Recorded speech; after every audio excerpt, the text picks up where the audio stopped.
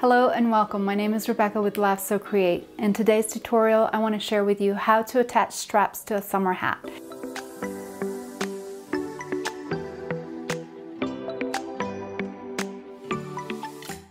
If you haven't checked out my bucket hat tutorial, I will link it up there and down below somewhere.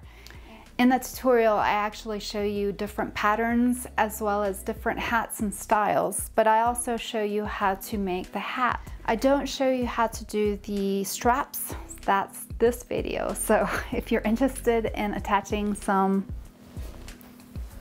straps to your hat so you can wear it on a boat or if you want to make some for your grandkids so that hat stays on come on in, I'm gonna show you how to do that. You'll need two long rectangles and I've made them two inches wide by 24 inches in length. And then I'm also gonna add a little loop for a hook. And you can make this one longer if you want to, but just so I can hook it on a door hook, this one measures two inches by three inches. Obviously you can adjust these to however you like. Okay, so just take your each of the rectangles and you're gonna first press them in half.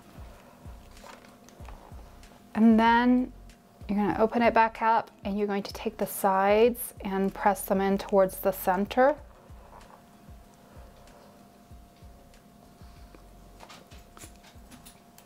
Press it towards the other side. And you're gonna repeat that for the chin straps as well.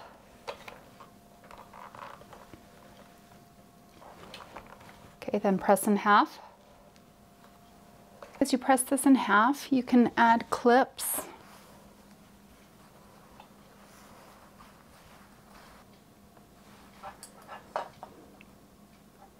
And you'll repeat this step for both straps. Okay, make sure you have a stitch length that is appropriate for top stitching. And if you're wondering, if you're a beginner, that means that usually if you're, you're using a stitch length for structure, you want that stitch length to be shorter, about a 2.0 to 2.5. I mostly use a 2.5.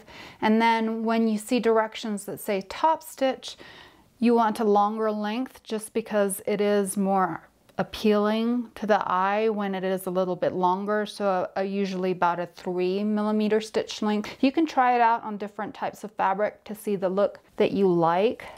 And just back stitch the beginning and end. And I'm actually going to be using uh, my presser foot as a guide but about an eighth of an inch from the edge is where you want to be The main thing here is to make sure that the edges are butting up and that one's not protruding from underneath. For you beginners, I'm just using a, a stiletto. You could also, if you don't have something like this, you could also use your machine screwdriver and just hold it. And that's just so that it doesn't shift while you're sewing it to the end. Okay, and for you beginners out there, I didn't know this, but when you're doing things like straps, you want to make sure that when you come and sew the second side, you're sewing it in the same direction and that eliminates the possibility of it, the, the fabric twisting. So I went down this way. So now I'm gonna just put it on the other side and do the same thing, but for the other side. Instead of going down and then coming back the other direction. When that happens, it can kind of cause some twisting in your fabric. And then you're gonna repeat for the other strap. Okay, and then for the loop, you can go ahead and tack it in place or baste it in place so that it'll stay together when you're trying to put it in the seam. So all, yeah, all I did for that is just loop it, put the edges together, and sew across. Okay, your loop is ready. Okay, so you add your straps once you've done the brim and once you've done the lining top. So you want the right side facing up. You're gonna drop the lining in And the goal here is to have the lining, the right side of the lining top matching the right side of the lining brim. And the important part here is to line up the seams and pin. And if that is exactly where you want the strap, which probably will be on the sides, this is where you would attach your strap. And the strap's gonna be coming this way.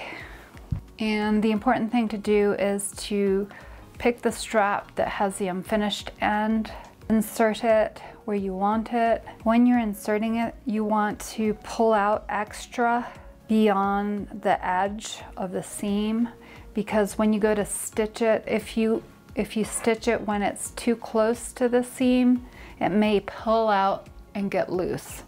So always add a little extra further up beyond the edge and pin it in place. That way when you're done and you've back stitched a couple of times, you know that that strap will be secure. One important part is when you're pinning, you want the right sides of the lining facing each other. And you just wanna make sure that the seams are lining up well.